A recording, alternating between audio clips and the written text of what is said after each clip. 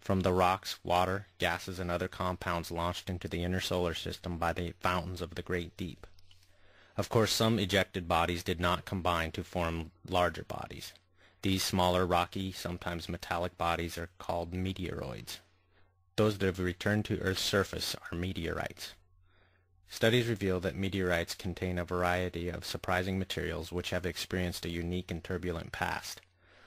The following items have been found in meteorites chondrules, salt crystals, water, limestone, which only forms in liquid water, DNA components, possible cellulose, sugars, living and fossil bacteria, terrestrial-like brines, excess left-handed amino acids and heavy hydrogen, and Earth-like minerals and Earth-like isotopes. All these implicate Earth as their source and the fountains of the great deep as the powerful launching mechanism. Meteorites can be divided into three classes. 95% are stones, rich in silicon and the mineral olivine, both common on Earth. 4% are irons, which are an iron-nickel mixture that was initially molten and experienced uniform heat of at least 1300 degrees Fahrenheit, as evidenced by their unique Widmanstätten pattern. Finally, 1% are an intermediate class of stony irons called pallasites. Pallasites formed from a molten iron-nickel mixture which seems to have been injected into or mixed with fragments primarily of olivine. The mixture of metal encasing olivine during the flood in the inner solar system when the bodies were much closer together. Sea of high-velocity debris, water, and gases from Earth during the flood also explains much of the Moon's surface topography we see today. The Moon is gravitationally locked so that only one side ever faces Earth.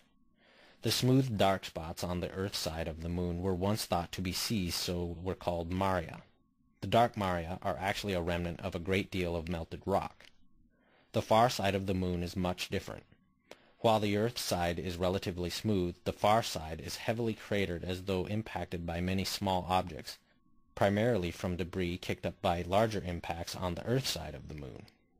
Again, here is the view we always see from Earth and here is the far side view that, while cratered, has no dark maria. While the Earth side is relatively smooth from the maria, the far side has been heavily cratered by many small impacts. The Earth itself tends to shield the Moon's near side from impacts. Did several asteroids impact the Moon while at the same time missing Earth? While not a complete impossibility, the expectation would be for large impacts to favor the far side of the moon where it is not shielded by the earth, or at least for impacts to be more evenly distributed about the moon's surface. The far side of the moon is always open to incoming impacts. We might imagine that with the moon being so far away from the earth that the earth would be a poor shield for the moon's near side. That is because we tend to think of shielding in terms of straight line impacts, somewhat like seeking cover from bullets. So in this scenario, there seems to be many available angles where incoming objects could still strike the near side of the moon.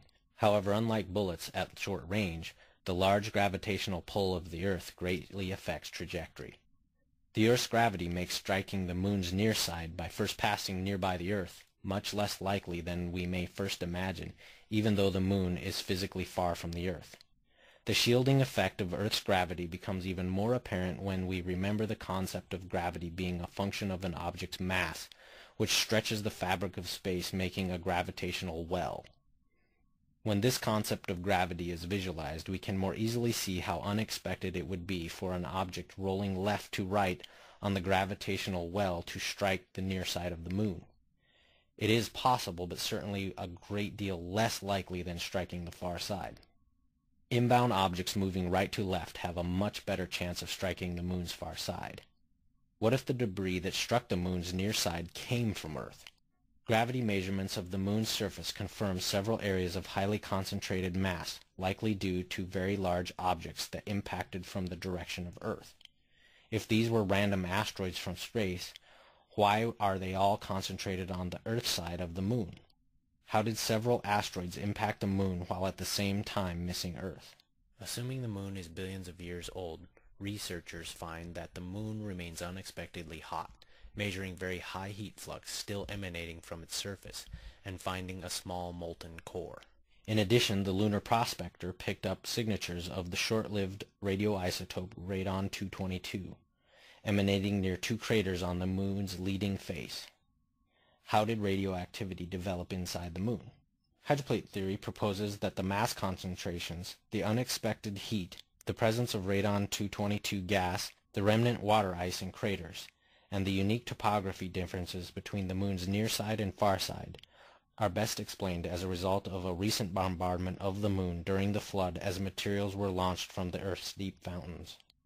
Dr. Robert Brown, professor of astronautics at the United States Air Force Academy, calculates that the debris would have reached the moon's sphere of influence outlined in yellow approximately five days after exiting Earth's atmosphere.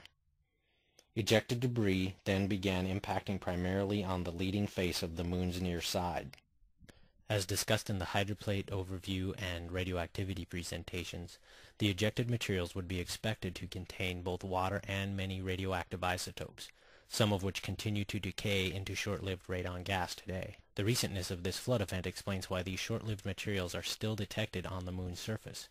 After millions of years, short-lived deposits of ice in these craters would have long since dissipated. Hydroplate theory also explains why the far side of the moon does not have mass concentrations, or mascons, nor the dark maria that we see on the Earth side.